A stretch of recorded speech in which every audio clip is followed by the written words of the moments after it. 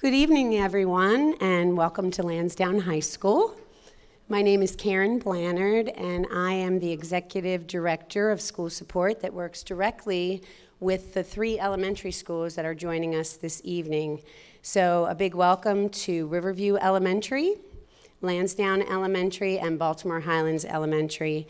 We do want to thank the principals, our teacher representatives, and our community members a big thank you for taking time out of your busy schedules to be here with us this evening. So, you'll be receiving a lot of information around this process, but it's really important for you to know up front that when we do a boundary study and we work through the process, we're really thinking about what's in the best interest of the Lansdowne community. And so that really includes all three schools because you're all very close to one another and so, as we build out scenarios and make decisions, I ask you to think about making those decisions based on the students we serve within the entire Lansdowne community area. So um, you will receive a lot of information this evening. You have your binders available to you. We will be uh, collecting information and having discussions throughout. It's really important for you to know that we want to hear your voice in this process. As a representative, your input is really invaluable to us. So I do want to um, introduce you to our community superintendent in Zone 4, and that's Dr. Penelope Martin Knox. And I'm going to turn it over to Melissa Appler, who will be leading us through this process, and she will be introducing you to some of her team members this evening. Good evening. Uh, my name is Melissa Appler. I'm with the Office of Strategic Planning with Baltimore County Public Schools. Our uh, office is here to support and guide you through this process. Uh, I want to thank each of you for coming out tonight to our first meeting and, and tell you how much we look forward to working with you as we begin developing options and eventually a recommendation to take to the board. Uh, before we get started, I wanted to give an opportunity to actually go around. You're all going to be working with each other a lot over the next few months. So if you can uh, go around, we're going to introduce, if you can give your name and the school that you're with. My name is Brian Williams, the principal at Baltimore Highlands. Kelly Nyman, teacher at Riverview Elementary. Lakita Lance, parent, Riverview Elementary. Tiffany Lanahan, um, a parent of Lansdowne Elementary School.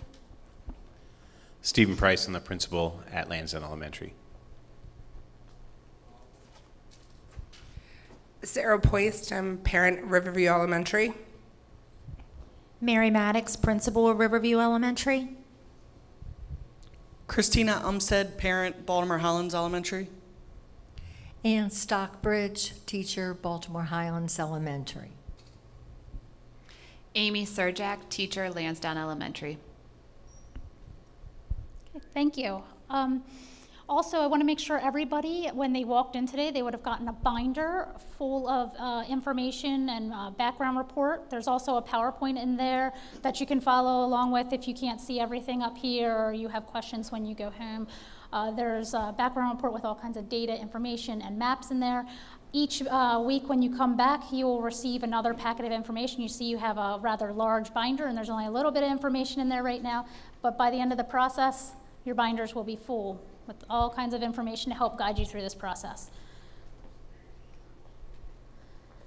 So this evening, uh, we're going to um, do an overview of the projects and tools available. We're going to actually do two exercises. One's an opportunity analysis where we're going to look at um, you kind of go through your binder with all your information and look at, uh, identify and discuss with each other some of the uh, opportunities, limitations, challenges that you see, um, being experts in the community that you see in this boundary change process. And then we're also going to do a planning block review exercise, which I'll explain a little bit more about uh, in a little bit.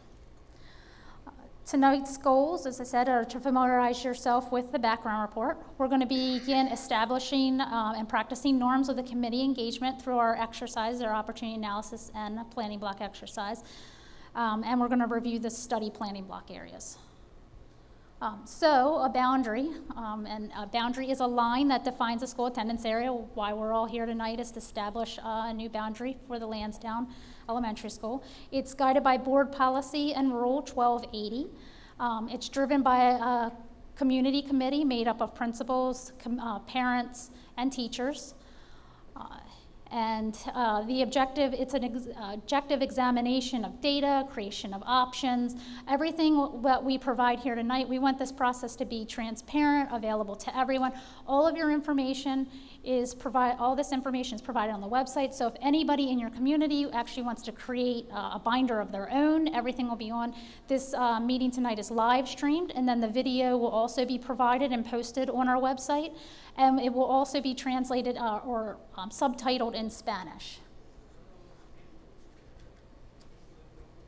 So the committee, um, you're going to meet four times between September and November. Um, you're representatives, representatives of the community, and you're going to work together and collaborate together to develop boundaries that are best for the community as a whole. Um, that's very important that we think about all the children and what's best for all the children in the community. We're asking you to suspend your parochial interest uh, when developing these boundaries. Uh, once you come up with um, a recommendation, you will um, take that to the community superintendent. Um, Dr. Martin Knox will take that to the board um, to move forward. They will then have a public hearing. The board will have a public hearing on that recommendation where anyone um, from the public can come and comment, give feedback on the recommended option before moving forward for adoption. So when page uh, four of your background report uh, in your binders um, is the committee calendar. Uh, the meetings in green are your committee meetings. Um, the orange meeting is your public information session. So at this public information session, you'll take uh, several of the options that you develop and it will be more like a gallery walk where they will come in and they will review these the options that you have put together and you'll be able to get feedback from the uh, community on those options so far um, meeting attendance is very important. Um, as you can see, we're a small committee, so missing one or two people uh, is, is, um, is very, uh, you know, it's a huge impact, so it's very important. If you are not able to get to a meeting, please let us know. You will get reminder emails from me about a week ahead of time before every meeting, just shoot me an email back letting me know if you can't come. If email is not the best way to communicate with you or not the easiest way, just talk to me after this and we can work something out that um, I can send information to you another way. Um, also in the process, we have a consultant, a community engagement facilitator that's going to help guide us through the process, uh, Miss Melanie Bell. Good evening, everyone. Wow, that's some serious sound. So, um, as, as Melissa said, my name is Melanie Bell, um, and I will be operating as a community, thank you, engagement um, specialist in this process. Um, I'm basically here to support you all um, and the process as you come and collaborate and also come to consensus, consensus to come up with a recommendation for the board. Um, a little bit of background information about me. I've been in education for about 17 years. I started out as an ELA teacher. Um, I've done some instructional coaching, and for the past five years or so, I've been doing work with restorative practices, um, supporting school communities with um, bringing community building and also conflict resolution into schools. Um, so I'll be here throughout the process to answer any questions that you have, and again, just to be of, of support. Um, with that being said, um, because this is a collaborative process, these are the norms and and expectations that we've laid out, so I just want to review them um, briefly. So the first one is just to, as we're working together, to be inclusive and just allow folks time to respond and think through um, the information when you're in conversation. Um, another point is just to allow wait time between, between responses.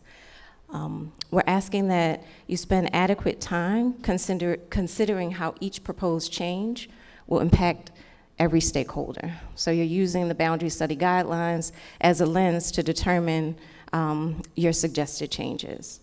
Um, lastly, or second to last, if a conflict arises, just be mindful of your tone and your body language. It's helpful if you stay focused on yourself, so just using I statements and things like that um, so as to avoid blame or escalating conflict.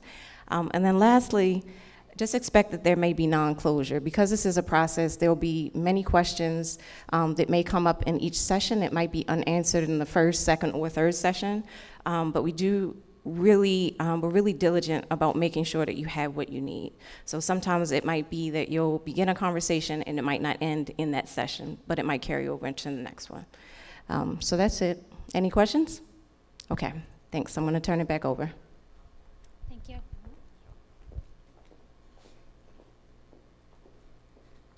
So just to talk a little bit about the Southwest area. Um, as you know, uh, or you might, um, BCPS is in the midst of a $1.3 billion Schools for Our Future initiative uh, that looks to um, modernize facilities and add capacity to go with our growing enrollment. Also accelerating air conditioning as uh, we need tonight in this hot room. um, in the southwest area, there was uh, five um, elementary school projects proposed. Four have been completed to date. Uh, Catonsville, Westowne, Westchester, and Relay just opened uh, this past school year. Lansdowne Elementary is scheduled to open in August of 2018 for the fifth project, elementary school relief project in this region. In uh, spring of 2016, BCPS completed a boundary study for the four schools that were already have already opened. There were 11 schools that participated in this process, and they're listed in your um, handout. You can see that Lansdowne did participate. However, while all these schools participated in the process, not boundaries were not changed for all of those schools. Um, earlier in 2017, the superintendent initiated a boundary change for Lansdowne Elementary School uh, and with uh, effective school year for 2018-2019. So the following reasons are driving this need for the boundary change. Uh, reconstruction of Lansdowne uh, with uh, added seats. It's going to change from a school uh, capacity of 313 and increase to 709. With that added capacity is the reason for the boundary change. Lansdowne Elementary is currently 156% capacity as of, uh, this is a September 30th, 2016 enrollment count, um, and Baltimore Highlands is at, at 123%. So both schools are needing relief as they are overcrowded. The schools participating in this process, as you know, are Baltimore Highlands, Lansdowne, and Riverview. It's important to mention that some might ask why Relay and Halethorpe are not also included in this process. These schools were included in the spring 2016 process, and many of the uh, children adjacent to the, the right on the boundary of Lansdowne Elementary had just moved schools um, this school year. So um, that boundary change took effect for the 17-18 school year, and we don't want to move children um, more than once. So the boundary study objectives uh, for this uh, process are we want to reduce e overcrowding in the region. We want to create viable, successful boundaries to effectively utilize the added capacity at the schools at Lansdowne Elementary. And we want to support diversity among schools that reflects the community and the school system.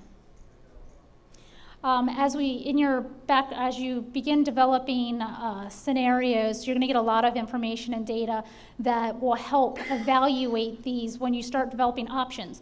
The data and information in there will help evaluate if these objectives are being met and compare the different options that you develop.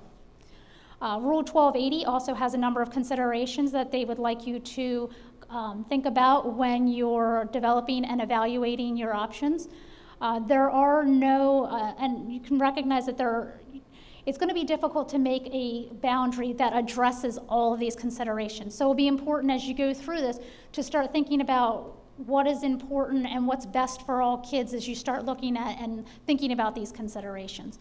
So maintaining the continuity of neighborhoods, maintaining or increasing the diversity among schools to reflect the diversity in the region of the school system as a whole the impact of transportation and pedestrian patterns on students, minimizing the number of times a student um, changes schools, which is uh, what I just discussed with Relay and Halethorpe, um, efficient use of capacity in the effective schools, long-term enrollment uh, and capacity trends and future capital projects that are planned in the area, uh, location of feeder pattern schools, boundaries, and continuity of feeder patterns, and then phasing in changes by grade level for high schools, which this process is only focused on elementary schools, so we're not looking at middles or highs or, or considering those boundaries in this process. Um, some additional considerations to um, think about when you're looking at these are major um, geographic features like railroads and uh, major highways. When you're starting to think about walkability or neighborhoods, um, to consider these. Um, also, uh, another consideration that we um, look at is the elimination of satellite boundaries, which are non-contiguous boundaries. There's some schools in Baltimore County that have these. there are no satellites in this process. So in your packet tonight, you would have received the background report. Uh, the purpose of this background report is to provide uh, data and information and tools to help guide you and give you the knowledge that you need uh, to make uh, your options and help develop your options. Uh, it's also used, it's important that we deliver a consistent uh, message to the community. Um, it's really important that we don't go out into the community. You're going to be in the grocery store, people are going to be asking you questions, or you're out in the community, people are going to ask you questions to make sure that we don't um, speculate what's going to happen. You, this information's here for you to provide data and information and facts to your community uh, and because it is a data-driven process and we want to support that data-driven process and not speculate on what might happen.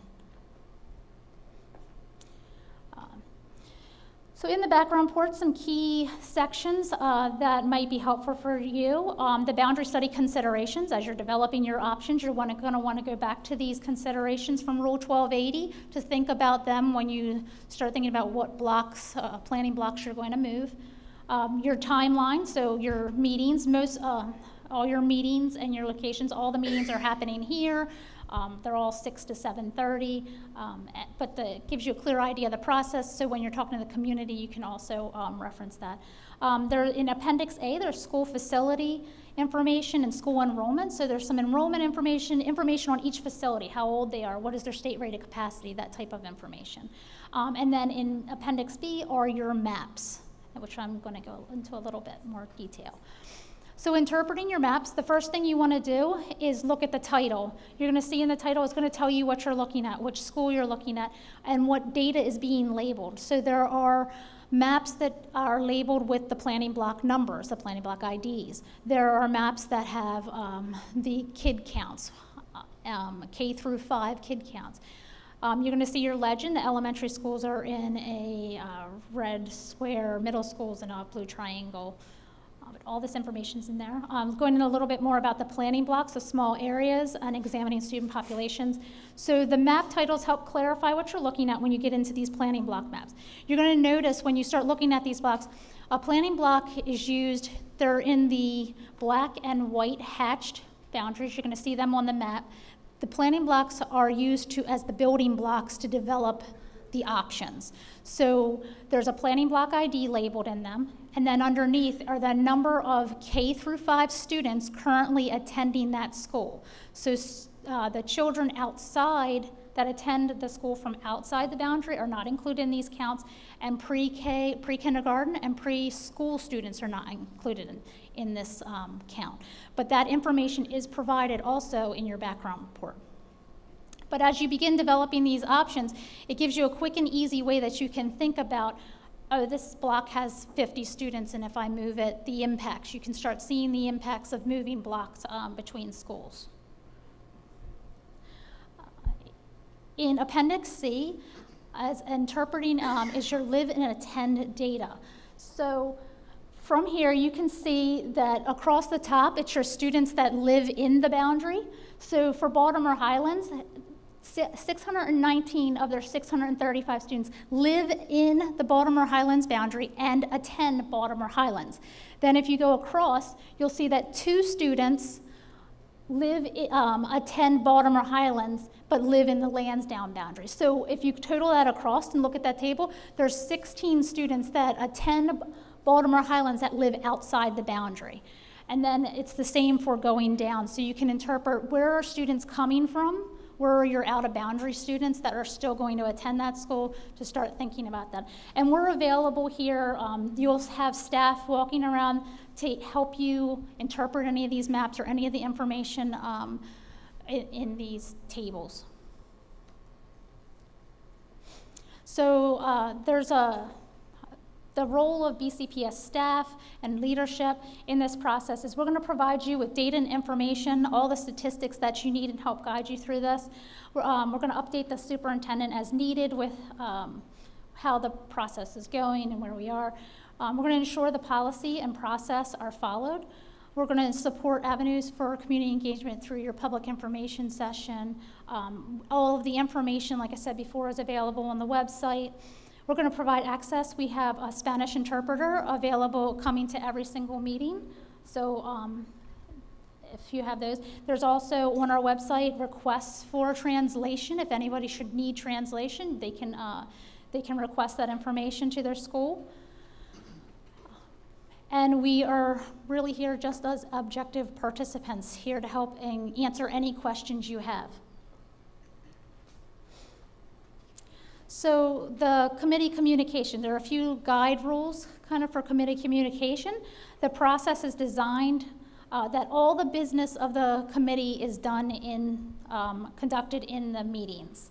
If committee members have questions, comments, uh, they can, um, suggest, between meetings, they can email us at boundarystudy at bcps.org or by contacting us at 443 809 4216. Uh, communication, um, communications received related to committee discussions and deliberations will be shared with everyone. So if you email us a question, we will share that question with all committee members. Uh, the public also is, um, this email address is also available to the public, and there's a link to it on our website that they can also um, provide comments and questions uh, to us, and we will provide that information with to you as well. Every um, between before every boundary meeting, we'll send you out a link to those emails we've received to the public, and they will be posted on the website. And they're posted a verbatim. You will get all the information that they send in. Between meetings, like I said, the main mode of communication is email. Uh, we will not share your committee email addresses with anyone. And uh, please do not sh share committee contact information with anybody. We're asking you not to do that as well. Um, all communications regarding the boundary study process are considered public information. So if you are emailing us for information, that information can be posted and is available to the public. We also, I was uh, talking, I've been talking a lot about the website. Uh, if you go to our main page on our website, there's a what's happening. It's in a blue box over to your left hand side. And underneath that, there's a construction and relief strategies, and you can find the Lansdowne boundary process and all the information under that uh, link. It's updated regularly. We try to have all of the information from this meeting provided within 24 hours of um, the next day. Um, and please remember as you go through this process to refer to your background report um, as your, in your considerations. Uh, now, be, we're going to, um, before we get into our first exercise, I just want to see if anyone has any questions so far. Okay, so our first exercise, Miss Bella is going to uh, get us ready for. Okay. Um, so what we want to do is um, give you all time to, thank you, take a look at the data and also take a holistic, um, like a holistic look at the current boundary. So what we're going to ask you to do is take a look at the current boundary and assess its current strengths, like what's working, um, look at the limitations of the boundary, and then look at the opportunities that are created by this process um, by, by shifting the boundary and also some of the challenges. So you'll work together and um, peruse through the data first and then work collaboratively to um, identify the strengths, limitations, opportunities, and challenges. Um, I think everybody is in their color groups, yeah? Blue and yellow, okay, great. Um, so what we'd like um, for you to do is to record your responses on the chart paper that's in front of you. And also what's important is any questions that come up, we're asking that you record them as well. You could put them on Post-its and then stick it on the chart. Um, uh, whatever, whatever you decide, whatever works for you. Um, some of those questions might be answered tonight, but also some of those questions we'll take back with us and then perhaps answer the next time. Um, so what we're asking you to do, um, we're asking for um, folks to take roles. So we're asking that one person be the discussion guide. And so that person is just uh, responsible for monitoring the time and um, just making sure that everyone has equal access to voice, right? Um, we're asking that one or two people um, act as a reporter. So once we're done, we're gonna share out and kind of debrief um, what, what you um, brainstormed around. So we're asking for one person to be the, or two people to be the reporter. We're asking for a scribe, so someone to just to write down, um, you know, what the thoughts of the group were and are. And then lastly, a parking lot attendant. And so this is the person who would be in charge of writing down any questions that come up that aren't answered um, as we engage in this process. Okay? Um, let me see if, what's next? Okay, yeah. So we're gonna take about um, 20 to 25 minutes to do this. I'll check back in maybe at 15 minutes, and then we'll also be around to answer any questions that you have. Before I um, give the mic back to Melissa, does anybody have any questions about it, what we're about to do? Okay, great. So we'll be around.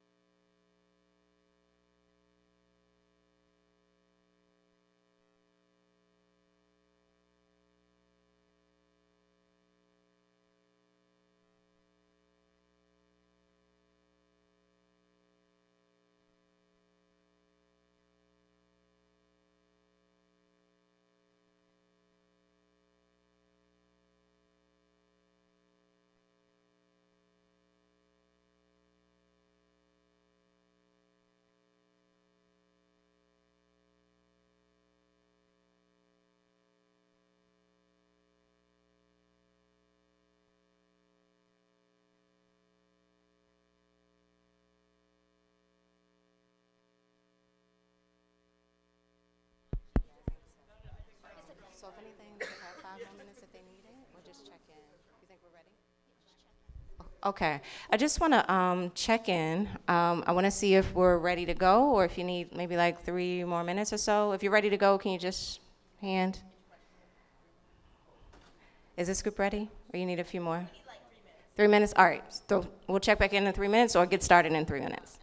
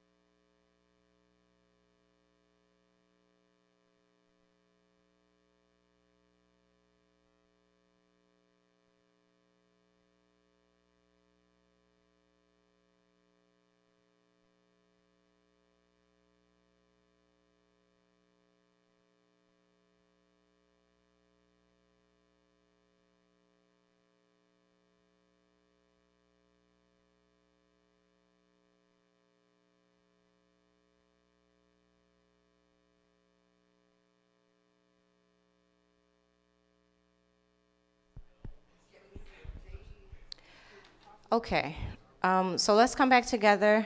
Um, we want to have kind of um, each group share um, what you all what you all said and what you recorded. Um, is this group ready to go first? Okay, great. So I'll pass my mic. Speaker. Am I doing it? Okay. Thank you. Uh, so we as a group decided that some of our strengths were our natural boundaries. Um, the limited busing, most schools, especially Riverview, do not have buses at, um, at all at Riverview. Um, the walking zones we decided were a strength, but that can also fit under the limitations because you have so many kids that walk to school every day. And then the neighborhood identity we also labeled as a strength um, because there's so many diverse families that live in the communities that we have to accommodate everybody. Um, then we, under limitations, we also included the tightly compacted walk zones. Um, then for the future, we went over for our opportunities the increasing diverse population uh, and how we could decrease the portables that are outside of the buildings that also house classrooms and creating the equitable opportunities in the poverty or racial communities and the struggles that come along with that. And under challenges, we put our neighborhood identity, the transportation and how that could affect our walk zones, and the change that will come when we eventually finish the boundaries. Thank you. Um, did anybody from the group have anything else they wanted to add? No? Okay, perfect. Thank you. So? Okay, we had a good discussion at our table. So, um, some of the present strengths that we identified was um, at Riverview, um, all students are walkers, and at Baltimore Highlands, almost all of our students are. We have one neighborhood bus that goes to a section of our community. Um, in our schools, they're accessible to parents, so parents are able, if they have a, uh, a sick child, they're able to walk to the school to um, be able to attend to what they need to do. Um, in our community, we um, have multiple families that are living together in our Highland Village area, so that's something that um, that strong sense of family support is is um, a positive, and there's um, there's many generations that have lived in our communities um, that um, parents and grandparents have attended our schools as well. So some of the limitations that we see currently is the way um, Lansdowne Elementary School is zoned is very widespread. So whereas in the other two schools we're very walkable, it's very accessible. Um, our farm rates um, we have um, range from 100% students on free and reduced to 78%. Uh, roughly, these are rough estimates, about 89% at Baltimore Highlands. Um, and we have a section that attends um, Lansdowne Elementary School on the Fifth Avenue area that is currently getting uh, bused to school. Um, some opportunities for um, this future endeavor is we can eliminate and reduce overcrowding. Um, we can potentially reduce. Steve, help me with this. No. Can you read it? Ah, okay. We could potentially reduce buses, um, some of the buses coming through our neighborhoods. Of course, now there'll be air conditioning for all, which is important. Um, and then we can really look at uh, the rebalance of the demographics within our community. Some of the challenges um, we have a large um, population that will be leaving, potentially leaving Baltimore Highlands, um, and that impact will be great on our um, parents and our students. Um, and some of our kids who are used to walking to school now will have to take a bus. Um, getting parents on board and making sure that they feel welcomed in their new school environments, um, and just just creating a, a new sense of community with our students and families, and kids' feelings. Thank you. And did anyone else from the group have anything they wanted to add? All right. So, um, you know, just want to thank you for um, taking the time and really um, going through the data and asking really important questions. Um, you know, this was an opportunity for us to take like a bird's eye view so we know what's ahead of us um, as we move forward. So I want to thank you. And with that, I'm going to pass it over to uh, Ms. Appler.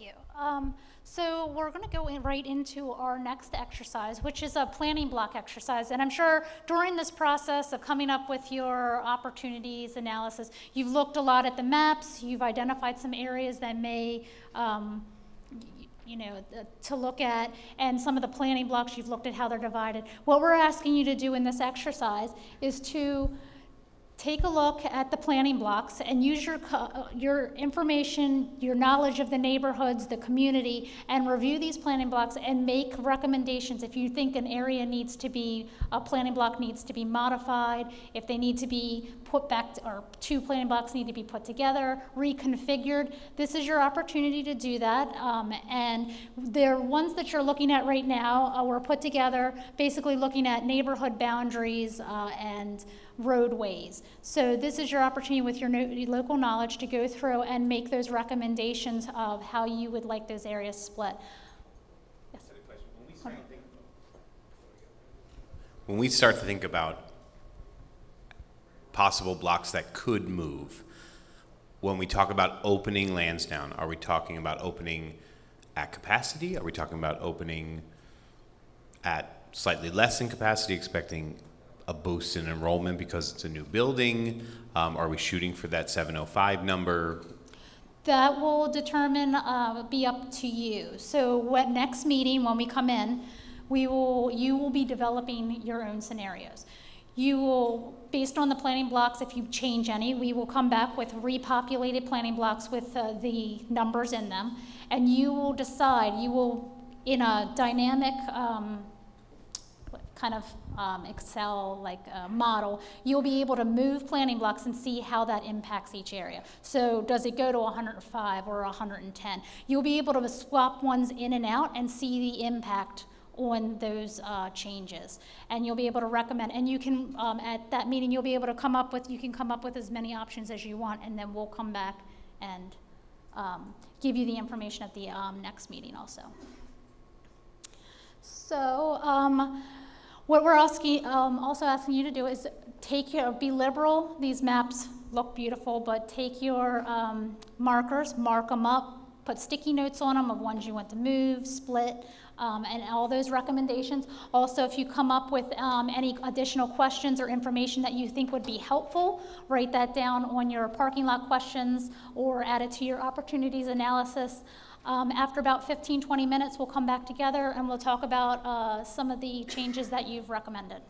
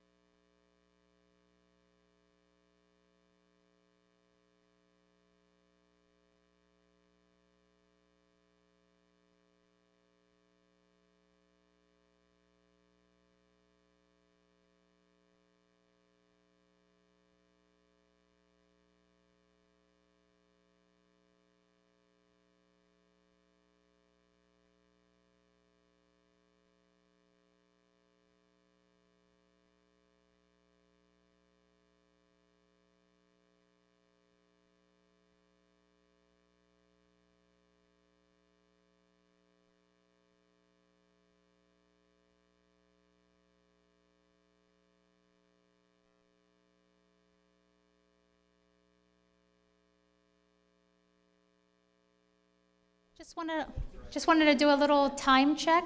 Um, if we can wrap up and try to write down all our uh, recommendations, uh, we're going to go and report out in about. Um, um, you can write them on the map. I mean, it, it's um, you can write them on the map, but when we do our report out, if you can just tell me what they are, I'll actually write them down too. That's that's fine. We'll we'll look at your maps. We'll take your maps down and all your stickies. But uh, just about like two or three more minutes, and we're going to come back and do our report out and um, talk about those.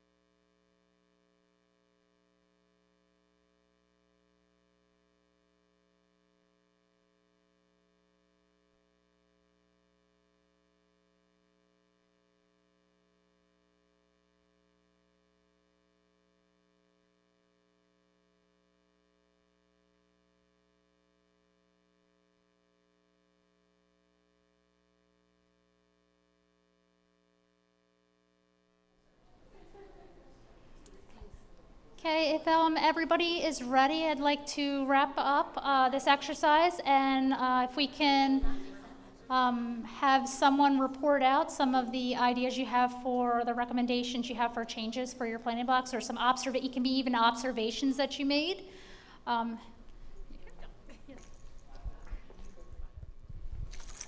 We had, whoa, we had um, one possible recommendation for the uh, planning blocks. We talked about splitting planning block 12. If you look, that's in um, the Baltimore Highland section um, off of McDowell Lane, I believe.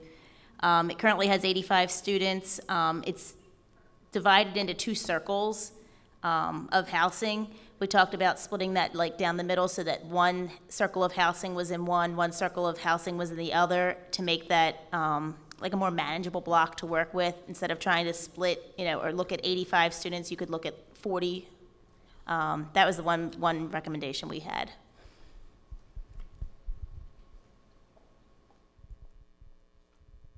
Thank you. And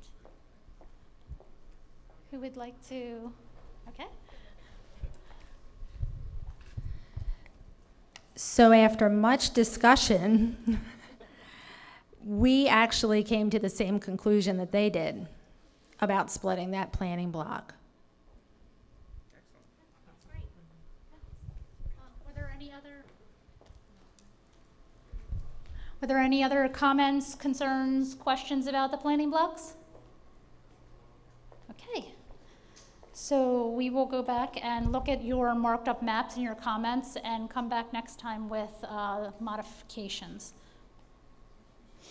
Uh, so uh, just real quick, a way the, when you're talking to the community and the public, um, here's some ways that they can stay informed and provide feedback. They can attend these committee meetings. They can attend the public information session on October 19th.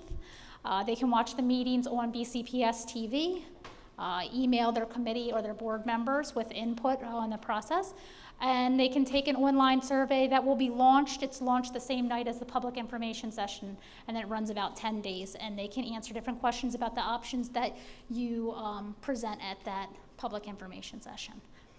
And then they can attend the public hearing, uh, the board's public hearing on December 6th. So the next meeting is September 2017, on uh, two weeks, uh, here again at Lansdowne Elementary or Lansdowne High School, and it's from 6 to 7:30. Um, and we thank you all for coming tonight, and uh, we will see you next time.